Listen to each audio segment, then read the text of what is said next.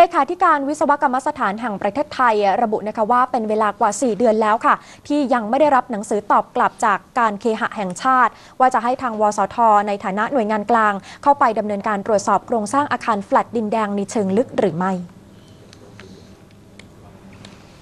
รองศาสตราจารย์สิริวัฒน์ชัยชนะ เลขาธิการวิศวกรรมสถานแห่งประเทศไทยในพระบรมราชูปถัมภ์หรือวสท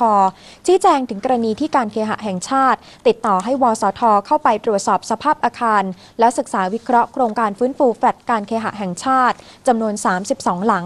ซึ่งวสท ได้เสนอแผนการตรวจสอบเชิงลึก เพื่อประเมินความมั่นคงแข็งแรงอาคารแฟลตดินแดง รวมทั้งวิเคราะห์และประเมินความเหมาะสมด้านเศรษฐศาสตร์ ตั้งแต่เดือนกันยายนปีที่แล้ว แต่ว่าจนถึงขณะนี้ยังไม่ได้รับการติดต่อกลับค่ะ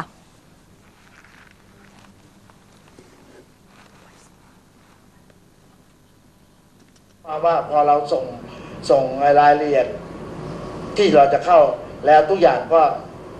หยุดอยู่แค่นั้นเท่านั้นเองแล้วเราได้มีการกระทู้กลับไปถึงเขาไหมคะว่าจะให้เราเข้าไปเสนอไม่ไม่ไม่ไม่ครับเพราะว่าเราเสนอไปแล้ว เราเป็นหน่วยงานที่ไม่ได้หมายความว่าต้องการได้งาน นะครับ เขาต้องการให้เราทำเขาก็ต้อง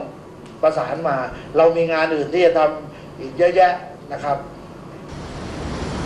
เลขาธิการ วสท ยืนยันนะคะว่าการตรวจสอบเชิงลึกของ วสท จะดำเนินการตามหลักวิชาการ และวิศวกรรม 3 ด้านค่ะ คือการศึกษาประเมินกำลังที่เหลืออยู่ของอาคาร ความสามารถในการรับแรงสั่นสะเทือนจากแผ่นดินไหว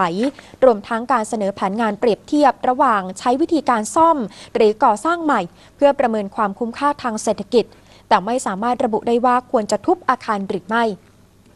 ทางนี้ยอมรับว่าการตรวจสอบเชิงลึกมีค่าใช้จ่ายค่อนข้างสูงค่ะ เนื่องจากจะต้องใช้บุคลากรที่มีความเชี่ยวชาญจำนวนมาก รวมทั้งอุปกรณ์ต่างๆ แต่ว่าไม่เปิดเผยรายละเอียด ซึ่งเป็นการตัดสินใจของการเคหะแห่งชาติ